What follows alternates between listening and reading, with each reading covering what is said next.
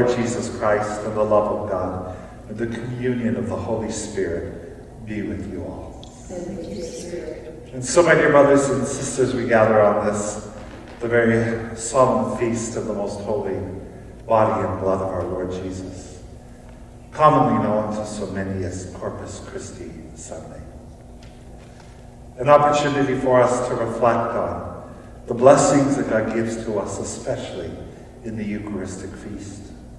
And of course, the mission that flows from that, that we are to be that body of Jesus for the sake of the world. Recognizing our sinfulness, we come today before the altar to be nourished. We seek also God's pardon and his forgiveness.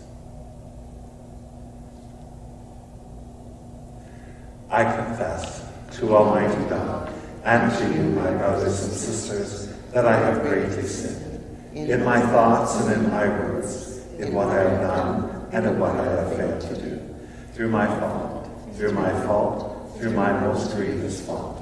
Therefore I ask Blessed Mary, ever Virgin, all the angels and saints, and you, my brothers and sisters, to pray for me to the Lord our God. May Almighty God have mercy on us, forgive us our sins, and bring us to everlasting life.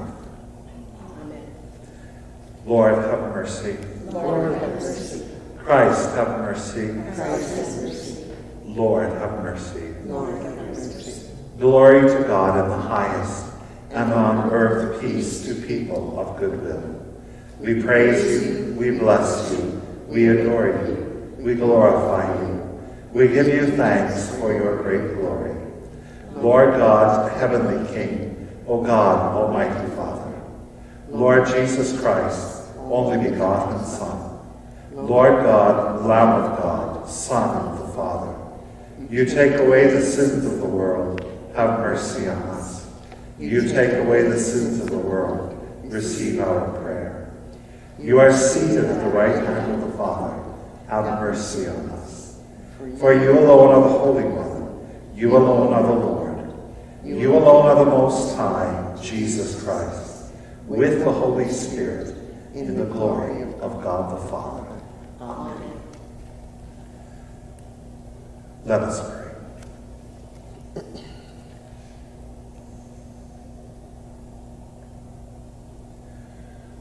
O God, who in this wonderful sacrament have left us a memorial of your passion, grant us, we pray, so to revere the sacred mysteries of your body and blood, that we may always experience in ourselves the fruits of your redemption, who live and reign with God the Father, the unity of the Holy Spirit, God forever and ever. Amen. Let us all be attentive to God's word.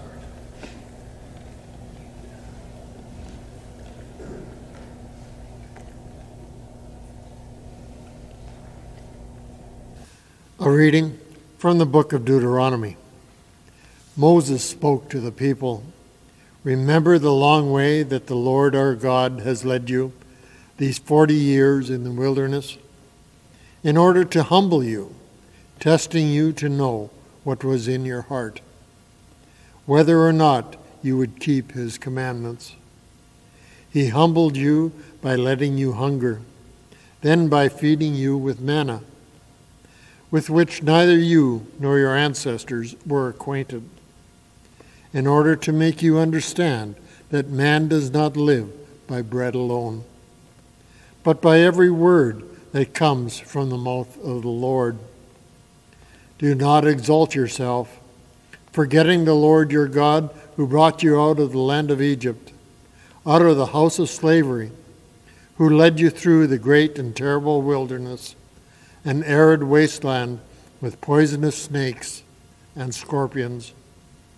He made water flow for you from a flat rock and fed you in the wilderness with manna that your ancestors did not know, to humble you and to test you, and in the end to do you good. The word of the Lord. Thanks be to God. The responsorial, responsorial psalm, Praise the Lord, Jerusalem.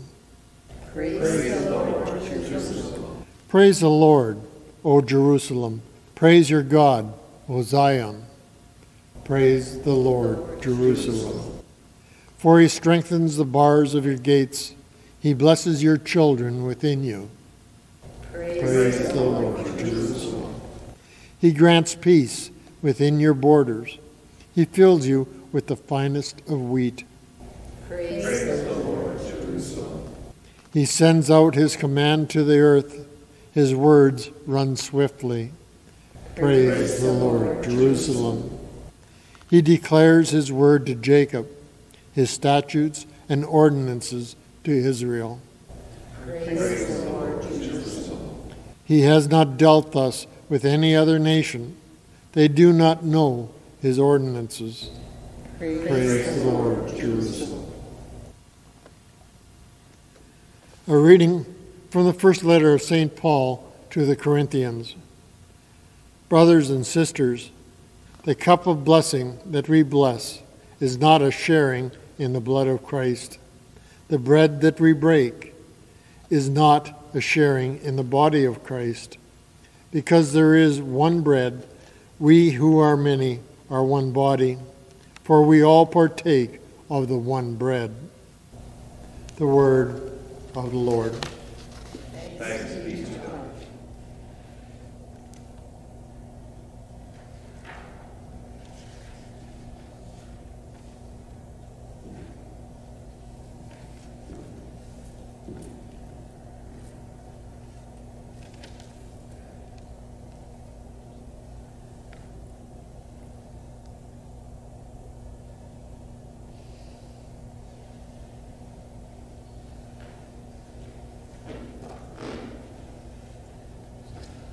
Alleluia, Alleluia, Alleluia, Alleluia, Alleluia. I am the living bread that came down from heaven, says the Lord. Whoever eats of this bread will live forever. Alleluia, Alleluia, Alleluia. The Lord be with you. A reading from the Holy Gospel according to St. John. Glory to you, Lord. Jesus said to the people, I am the living bread that came down from heaven. Whoever eats of this bread will live forever. And the bread that I will give for the life of the world is my flesh. The people then disputed among themselves, saying, How can this man give us his flesh to eat? So Jesus said to them, Very truly I tell you, unless you eat the flesh of the Son of Man, and drink his blood, you have no life in you. Whoever eats my flesh and drinks my blood has eternal life, and I will raise them up on the last day. For my flesh is true food, and my blood is true drink. Whoever eats my flesh and drinks my blood abides in me, and I in them. Just as the living Father sent me, and I live because of the Father, so whoever eats me will live because of me. This is the bread that came down from heaven, not like that which our ancestors ate, and they died. But the one who eats this bread will live forever. Jesus said these things while he was teaching in the synagogue at Capernaum. The Gospel of the Lord. Praise, Praise to you, Lord Jesus Christ.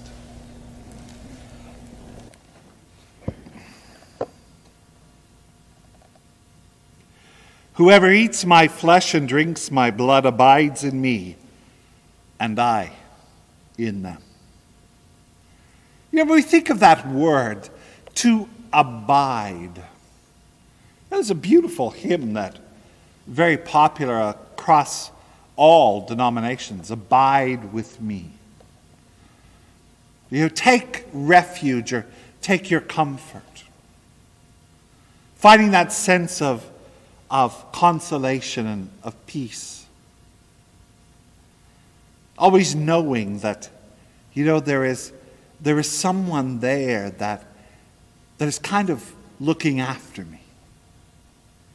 The recognition that, that I don't do things alone. I may find myself alone at certain times in my life, but I'm not a solitary island, as we say. The great song, folk song, says, No man is an island, and no man stands alone.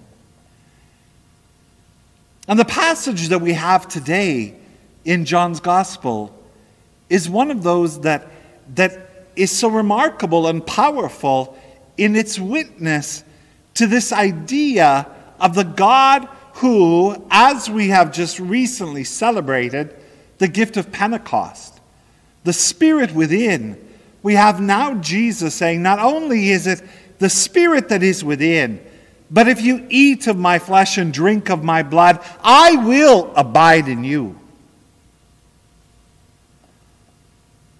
We know why. For many of the, the very, very conservative minded Jewish people took issue with this was because they got stuck not in the imagery, but they got stuck on what was a, a doctrinal point of the law. Because to consume the flesh of a human being was to make them unclean. And so Jesus uses this imagery, which immediately then draws them into something which is beyond their own understanding.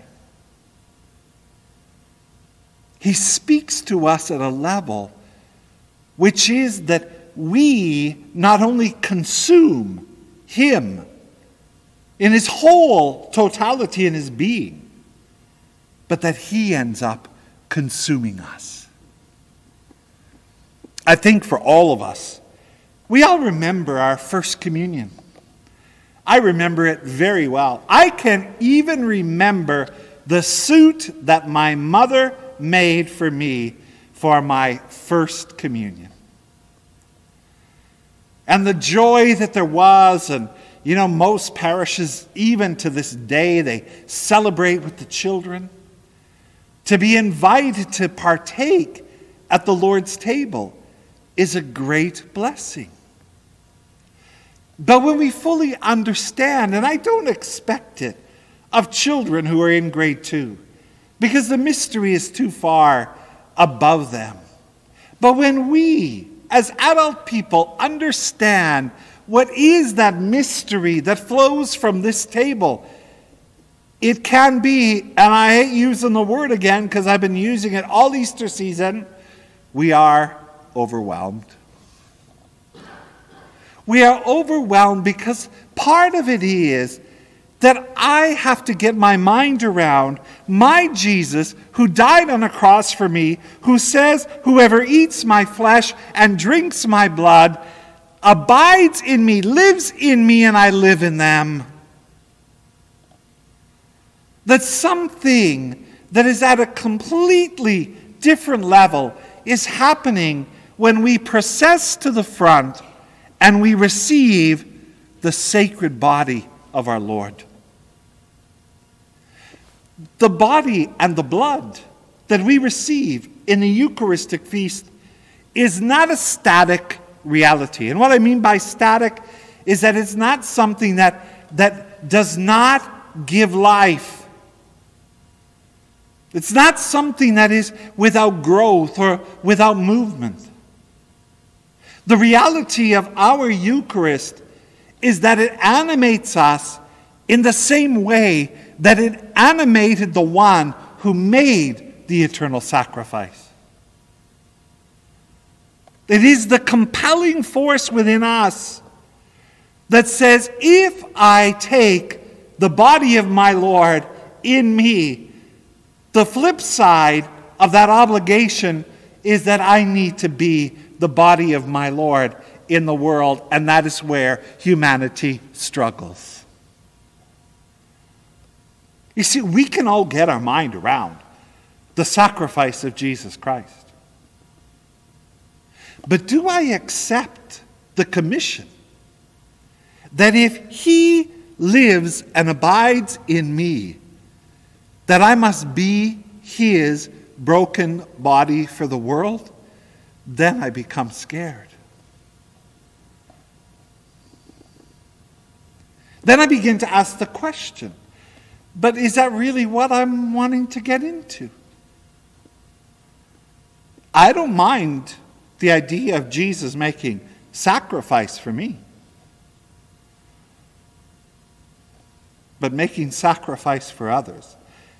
And as St. Paul would say, you know, it's easy, you know, to make the sacrifice for someone that you love. You know, if it's the, if it's the little kids or the grandkids, it's easy to make sacrifice. But as St. Paul says, what, what if it's someone who is ungodly? That's where that tension is. To take the body that is broken, to take the cup that is spilled into myself demands. It's not it's not multiple choice. It demands of me a response of my very being.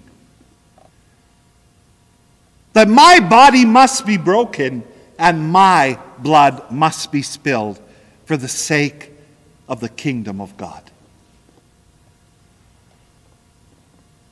And that's where many would walk away. I think that, that it was easier for some of the people to walk away because Jesus made this what is, some call a cannibalistic statement. It's not a cannibalistic statement. But the idea of taking the human flesh, it was easier to walk away from that than it was to wrestle with the idea that I too, in taking Jesus within me, must be broken for the world. This has already been revealed to us. I think of parents, young parents. You know what? They, a, two, a, a two month old baby has so much power. I ask the question who really runs the world? Babies run the world. Babies cry, and one of the parents runs after them. Most times, now I've heard this, I don't speak from experience. I have heard that 99.5% of the time it's the mother that runs to a crying child. And the child might need to be changed, the child might need to be fed, whatever it is, maybe whatever. Somebody runs for it. A child cries out in the middle of a night, not just an infant, but a child. What happens? The parents will go to see what it is that is wrong. They're breaking themselves. I mean, I, I, lay awake so many times in the rectory. I wake up at night and I cry out, and nobody runs for me.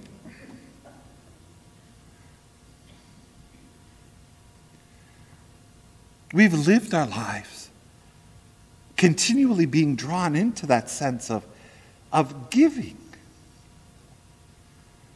When we volunteer our time, when we volunteer our efforts, how many times do we find creeping into the back of our mind little statements like, well, I could be doing something else? You know? Here I am visiting an elderly person. I could be planting the garden. Here I'm doing this, I could be home doing this. I'm running this errand. I'm doing these volunteer hours at the church, whatever. I'm doing this for the for any kind of an organization or charity. I could be doing something else. And yet, it is that mystery that flows from this very altar that enlivens us to be that broken body. You know, it's not enough to be the voice of Jesus in the world. It's not enough to be the presence of Jesus in the world. If I have the courage to take him into me to the point that he says, I will abide in you, then I am committed to abiding in my brothers and sisters in a broken world, allowing myself to be broken just as he was broken.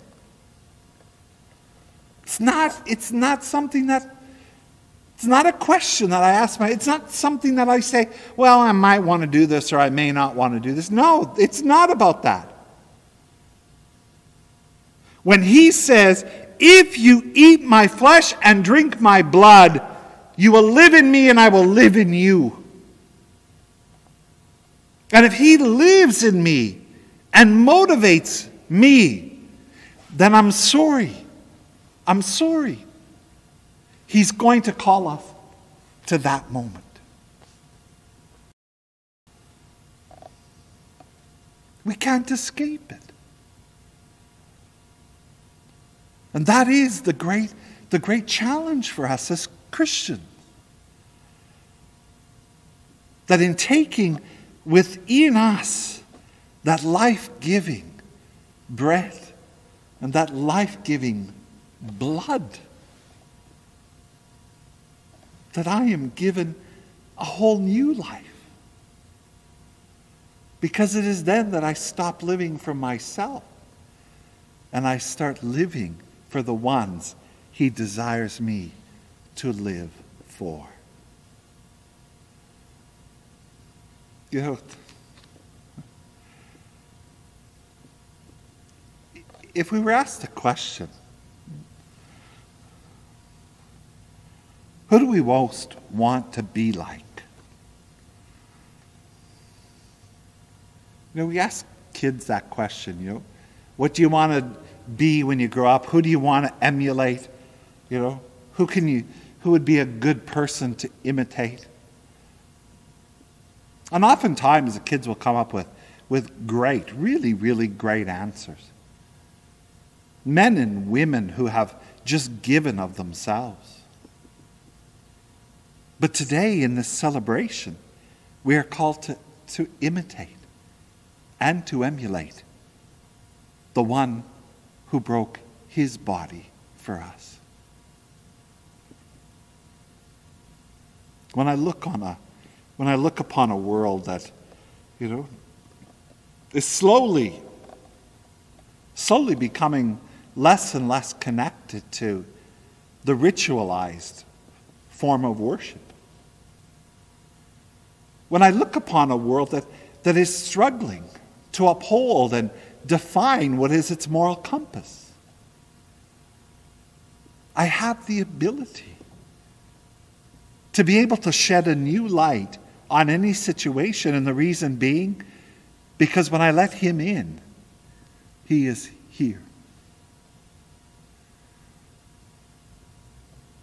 My thought pattern since the celebration of Christmas has been one where I have continually come back to that, that line from Isaiah's prophecy.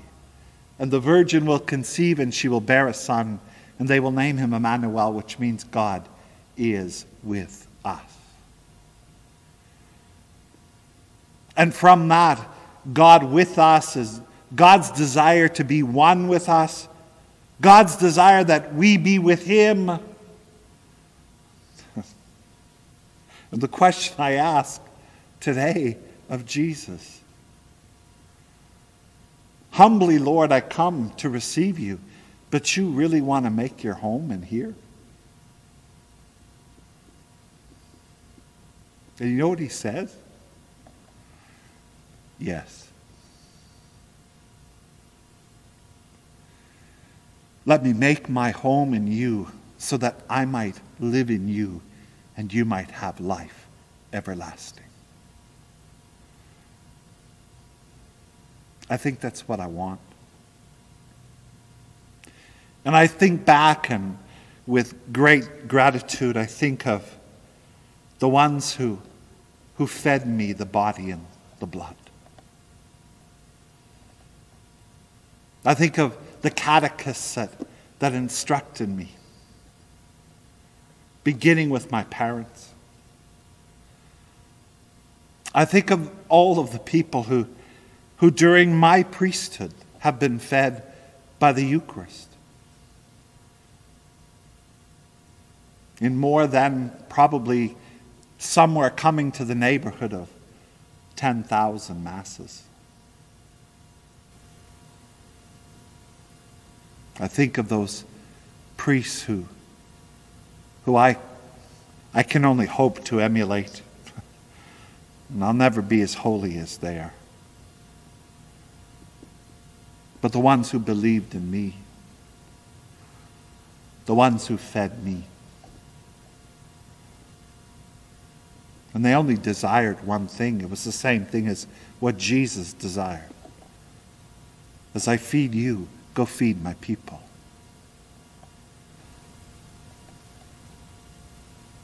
Go feed the world. Break your body. Spill your blood. Who else can say to us, that they will raise us on the last day. I want to be raised on the last day. And this food that we receive in this beautiful celebration of the Eucharist is the food that continues within me and within all of us to draw us ever closer to that promise.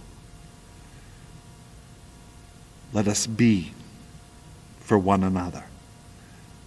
The Jesus that flows from this table and the great love that continues to flow from the heart of God Himself.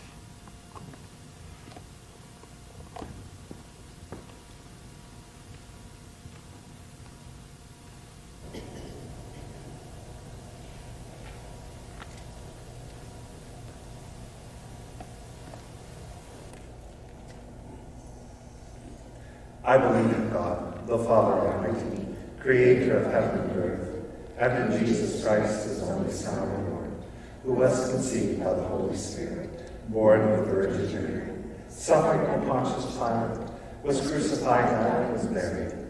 He descended into hell. On the third day he rose again from the dead. He ascended into heaven, and is seated at the right hand of God, the Father Almighty. From there he will come to judge the living and the dead. I believe in the Holy Spirit, the Holy Catholic Church, the communion of saints, the forgiveness of sins, the resurrection of the body, and the life everlasting. Amen. We are a pilgrim people, fed and nourished by the Eucharist. We gather today with our needs, and in that spirit of trust, we offer them now to our Heavenly Father.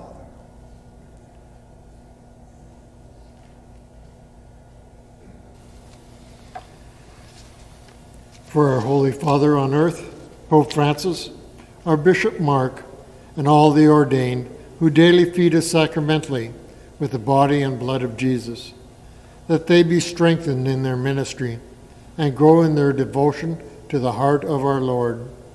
We pray to the Lord. Lord, hear our prayer. For the people of God, the body of Christ on earth, that they respond generously with their gifts of time and talent to bring the goodness of God into the lives of all people. We pray to the Lord. Lord, hear our prayer. For those who experience the brokenness of the body and blood of Christ, that they might be sustained and strengthened in their journey toward healing and wholeness, we pray to the Lord. Lord, hear our prayer. For our parish youth who today receive the First Holy Communion, that they might always live the promises revealed in the Holy Eucharist. We pray to the Lord. Lord, hear our prayer. For the souls of those who have died, that they now find the fullness of life, love, and peace in the kingdom of heaven. We pray to the Lord. Lord, hear our prayer. For a spirit of peace in our world, that united in the love of the body and blood of Christ, we might bring harmony and understanding to our families, community, and nations. We pray to the Lord. Lord, hear our prayer. For favorable weather for the growing season, for moisture, sun, and heat to bring forth an abundant harvest of gardens and fields. We pray to the Lord. Lord, hear our prayer. Father, it is right to give you thanks. It is right that we should reach out to you in our time of need. Hear your people as we cry out to you, and in your goodness grant to us what we ask. For we do so in the name of Jesus, your Son and our Lord, who lives with you in the Holy Spirit, God, forever and ever. Amen.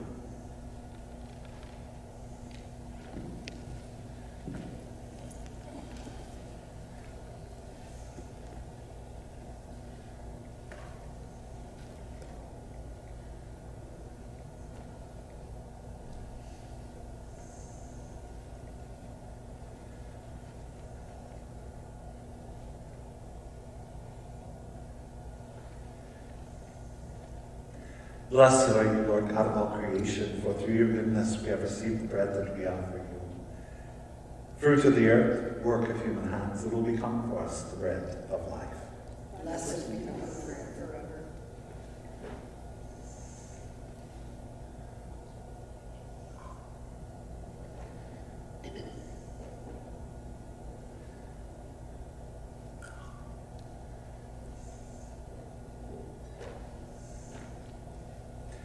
Blessed are you, Lord God of all creation, for through your goodness we have received the wine that we offer you. Of the vine, work of human hands, it will become our spiritual drink. Blessed be God forever.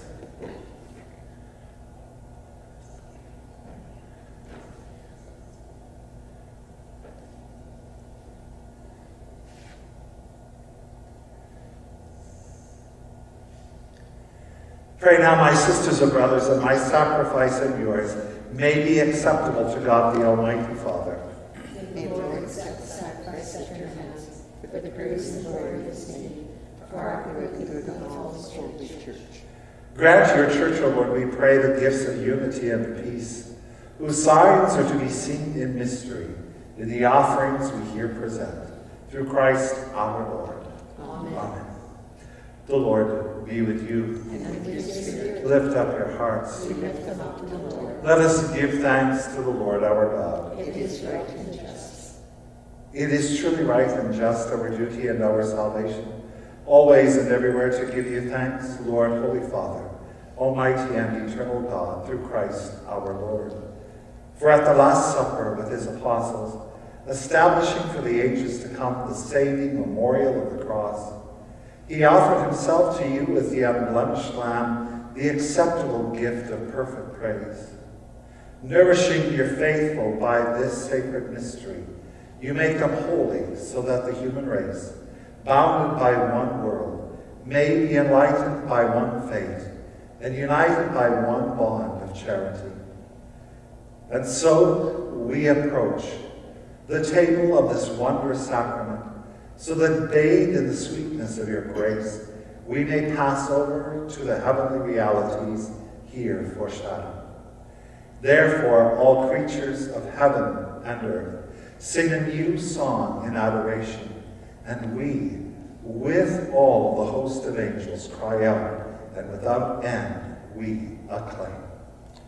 Holy, holy, holy Lord, God of hosts, heaven and earth are full of your glory. Hosanna in the highest. Blessed is he who comes in the name of the Lord. Hosanna in the highest.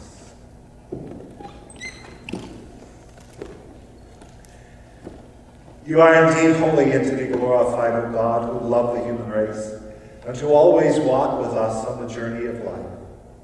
Blessed indeed is your Son present in our midst.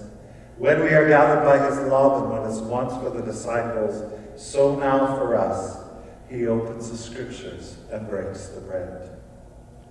Therefore, Father most merciful, we ask that you send forth your Holy Spirit to sanctify these gifts of bread and wine that they may become for us the body and the blood of our Lord Jesus Christ.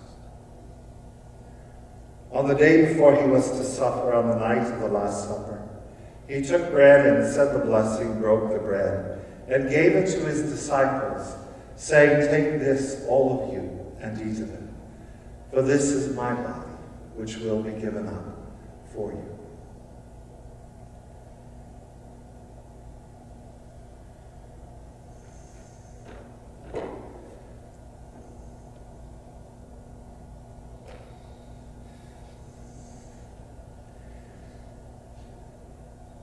In a similar way, when supper was ended, he took the chalice, gave you thanks, and gave the chalice to his disciples, saying, Take this, all of you, and drink from it, for this is the chalice of my blood, the blood of the new, the eternal covenant, which shall be poured out for you and for many for the forgiveness of sins.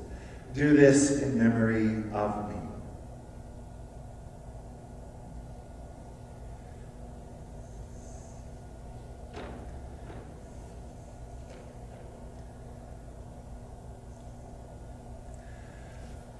The mystery of faith. When we eat this bread and drink this cup, we proclaim your death, O Lord, until you come again. Therefore, Holy Fathers, we celebrate the memorial of Christ, your Son, our Savior, whom you led through his passion and death on the cross to the glory of the resurrection, and whom you have seated at your right hand. We proclaim the work of your love until he comes again. And we offer you the bread of life and the chalice of blessing.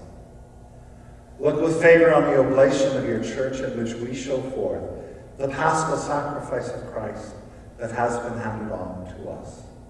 And grant that by the power of the Spirit of your love, we may be counted now and until the day of eternity among the members of your Son in whose body and blood we have communion. And so, having called us to your table, Lord, confirm us in unity so that together with Francis, our Pope, and Mark, our Bishop, with all bishops, priests, and deacons, and your entire people, as we walk in your ways with faith and hope, we may strive to bring joy and trust into the world. Remember our brothers and sisters who have fallen asleep in the peace of your Christ, and all the dead whose faith you alone have known. Admit them to rejoice in the light of your face, and in the resurrection, give them the fullness of life. Grant also to us, when our earthly pilgrimage is done, that we may come to an eternal dwelling place and live with you forever. There, in communion with the Blessed Virgin Mary, the Mother of God, with Blessed Joseph, her spouse, with the apostles, the martyrs, St. Patrick, and with all the saints, we shall praise and exalt you through Jesus Christ, your Son. Through him and with him and in him, O God, Almighty Father, in the unity of the Holy Spirit, all glory and honor is yours forever and ever. Amen.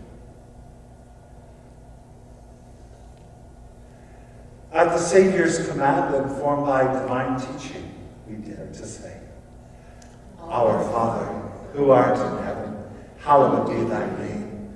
Thy kingdom come, thy will be done, on earth as it is in heaven.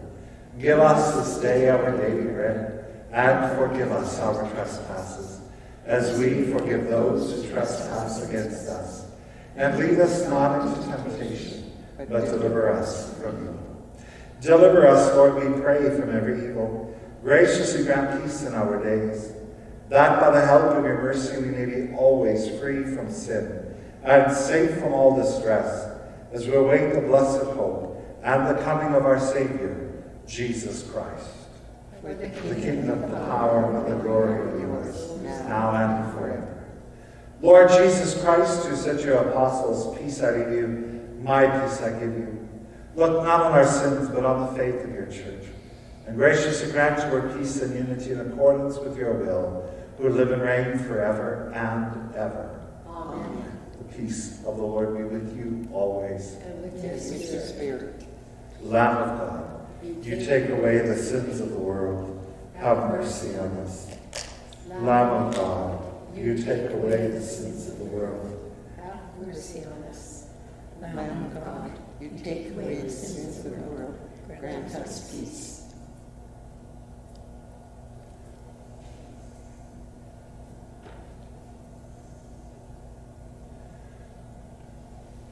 Behold the Lamb of God, behold him who takes away the sins of the world. How blessed are those called to the supper of the Lamb. Lord, I am not worthy that you should enter under my roof, but only say the word, my soul shall be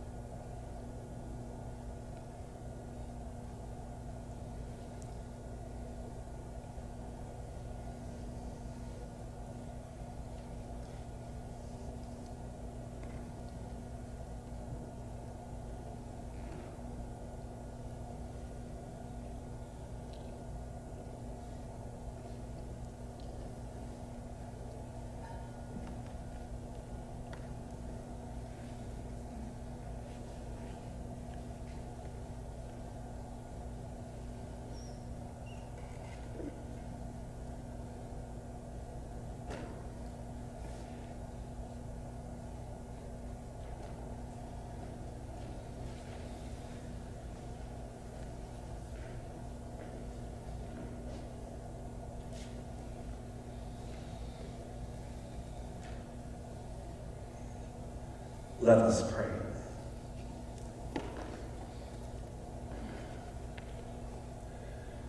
Grant, O Lord, we pray that we may delight for all eternity in that share in your divine life, which is foreshadowed in the present age by our reception of your precious body and blood, who live and reign forever and ever. Amen. The Lord be with you. And with your spirit. May Almighty God bless you, the Father, the Son, and the Holy Spirit. Us now go in the peace of Christ. Thanks Thanks be to God.